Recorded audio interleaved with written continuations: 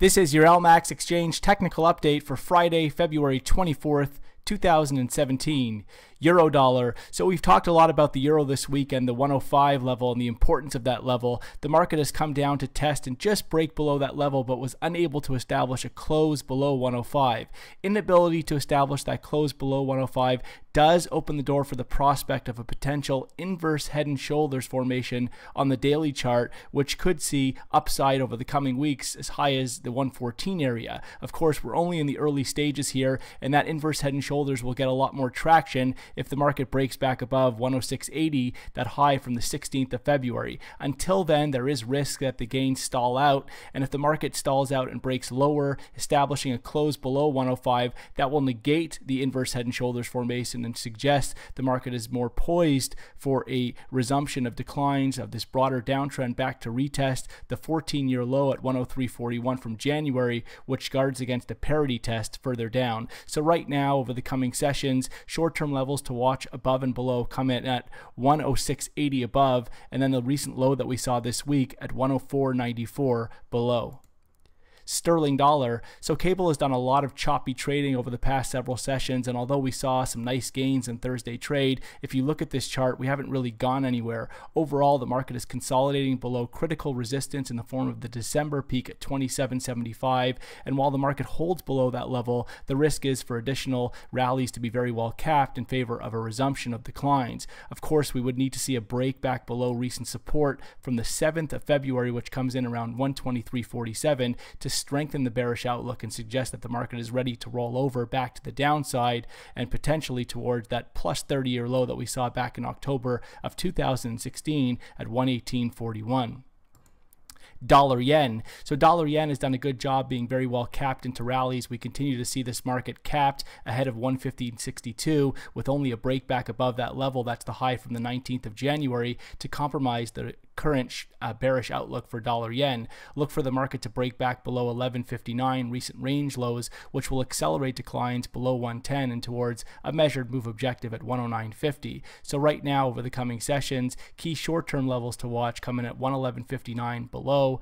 and then that high that we saw, that recent high from the 19th of January at 115.62 above. Euro Swiss. So Euro Swiss has been trying its best to rally out from recent lows, but the market continues to be very well offered into rallies. And while it holds below 107.60, there is risk for additional downside in this market below the 2016 base around 106.25 and towards critical psychological barriers at 105 further down. Aussie dollar. So Aussie continues with its impressive run in 2017, but the market is showing a lot of good resistance up towards this critical medium term area uh, into the 78 zone. At this point, additional upside should be limited considering the uh, extension that we've seen in 2017, but at the same time, a break back below 76 would be required to suggest that the market is in fact topping out again up here in favor of a bearish resumption dollar CAD. So dollar CAD in recent days has been very well supported down in the 130 area. We did see a minor break below that level to 29.69 and that was back on the 31st of January, but the market was unable to close below 130 and the ability for it to hold above does suggest that the market could be wanting to base out here ahead of a bullish resumption. Of course, we would need to see a break at a minimum back above the high that we saw this week at 32.10 to strengthen this outlook and accelerate gains, but setbacks should continue continue to be very well supported into the 130 area. Only a close below 130 would force a shift and a reconsideration of the shorter term outlook for dollar CAD. Kiwi dollar. So Kiwi has seen a nice little bounce over the past few sessions, and while we could see the market extend a little bit higher, there are signs on a more medium-term basis of the market carving a longer-term top or a more medium-term top, and any rally should be very well capped towards that recent high that we saw up just shy of 74 at 73.76. Look for a break back below recent lows that we saw this week that came in all the way down at the 71.30 area to strengthen this outlook and accelerate declines. SPX 500. The S&P 500 has been pushing and pushing to fresh record highs, another record high this week on Thursday, and the market has shown no real signs of any form of a correction despite daily overbought readings and overbought readings on a medium and a longer term basis.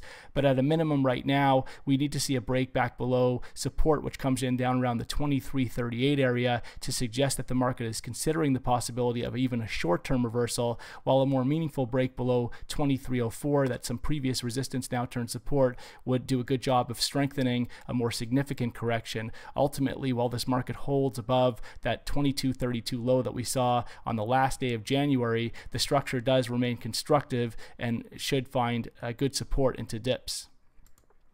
Gold. So gold has continued with its upside several days back when the market broke above 1220 after establishing a low down here at 1180. We had talked about a projected measured move upside to 1260 and now it looks like the market is going to want to test this level in the sessions ahead. Ultimately, the overall outlook here continues to be quite constructive as gold continues to show signs of forming a longer term base and an establishment back above 1260 now will strengthen this outlook. Any setbacks in gold should be very well supported towards 12 1200 now, with only a break back below 1180 to compromise this constructive outlook for the gold market.